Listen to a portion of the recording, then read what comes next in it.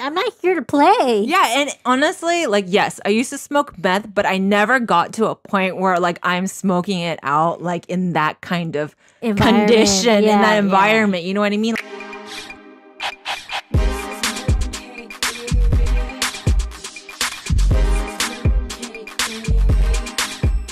Yeah, but uh, what's going on with you, Liz? You say you got some. Oh my Quite a bit of things to okay. tell. Are you ready for this ride?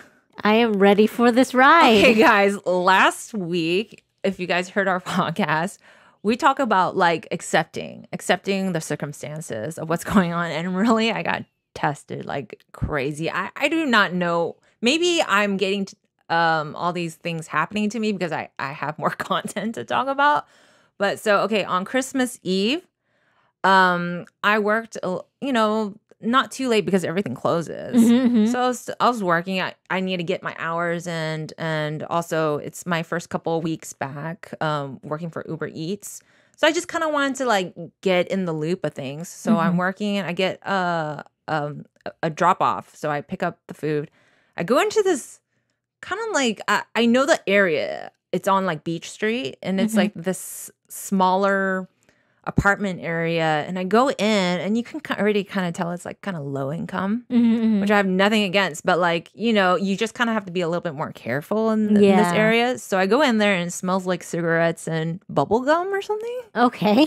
like, but you go in and um the customer seems really nice and he told me that it's on the second floor. So I go on the second floor and um this hallway is tiny. Mhm. It's not like one of your larger, more um, modern style apartment homes where like they have large hallways to walk through. It's it's smaller. So like when I put my arms out, I'm already touching the walls Oh, wow. either side.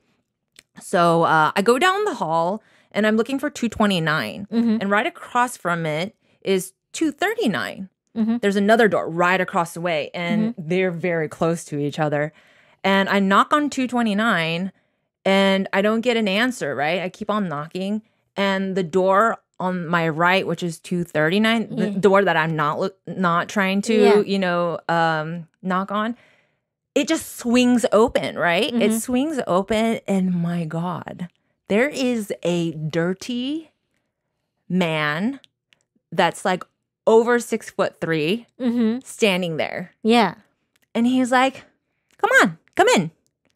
And he's like dirty. He looks like a peasant, you know, like Yeah. medieval. Like he he's like he's got like dirt on his face and like he he kind of has like a buzz cut hair and like a, a dirty like beard. Uh huh.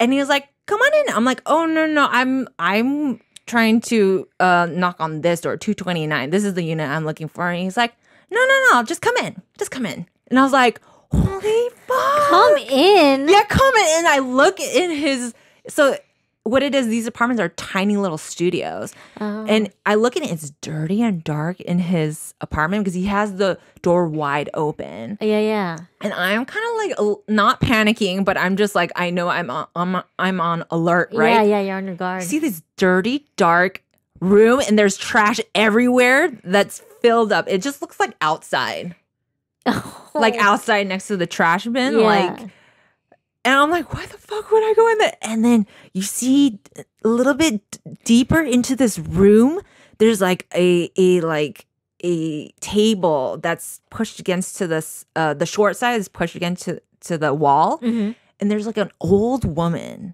an old woman like sitting there. Okay. And I was like, okay, what the fuck? And he keeps on telling me to come in. And I'm like, no, I'm not coming in.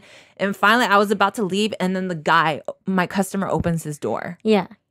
Normal Hispanic guy. Yeah. Like our age, maybe younger, 28. Mhm. And his room's clean. It's like a two different worlds contrasting. Yeah. And I was just like, this guy keeps on telling me to go into his room. And he was like, yeah. and I give him his food and he's he it's basically saying, Yeah, I know I live across from crazy crackheads. Oh my god. And I was like, Oh fuck, okay. I was like, here's your here's your food. And I leave and they both close their doors. Mhm. And I hear I hear the crackhead lady, the old lady that's inside Yeah. the room. She's like, "Fuck that bitch, fuck that bitch," and you could hear it ringing through the hallway. Oh my god! Like like she didn't want to come and smoke out with us. Like fuck that bitch. And I was like, You're "Ah!" working, ma'am. Like I'm working, ma'am. I Like, I have a job. I'm doing my like. I'm not here to play. yeah, and honestly, like yes, I used to smoke meth, but I never got to a point where like I'm smoking it out like in that kind of condition in Yeah, that yeah. environment. You know what I mean? Like I feel like even if I even tried so hard to get to that point, like I it would be hard for me to get to that point. Like I'm just I'm so anal. Yeah, yeah. Like I like being in a clean environment. Mhm, You know what I mean? mhm. But don't smack smell I mean don't smoke meth ever. Just don't do it. Don't, do, it, kids. Don't do it. Adults, kids. Don't do it. It's a total Don't waste it. of time. Total waste of time. Um, so that happened on on New Year's Eve, and Mhm. and then I called Joseph, and I was like, ah! I was like, oh my god, I just, I oh got so scared because he was so big, Yeah. big white guy, and dirty, dirty, so Dirty. dirty, like so dirty. I can't believe. Like, I'm just confused. Like, this guy just wanted you to hang out with them. yeah like that's what that's what like cr- crackheads do like they Oh. want more people to get hooked on it and smoke together you know what i okay, mean like Okay. That's kind of like what like real real druggies do like i used to go and just like we used to just hang out with druggies and and then Mm-hmm. it came to a point where i was just like eh, i don't want to hang out with these people anymore yeah, yeah, yeah. but i Oh, never hung out with like that that like level Mm. where it's like they're not cleaning themselves. Yeah, yeah, There's trash just everywhere. lost in their world. Yeah, and it's just like weird, but like yeah, I escaped that one. That was really crazy. Oof. And um yeah, it, I was like, wow, that was a wild adventure and I just took off, you know. It was just Oh my gosh. that happened.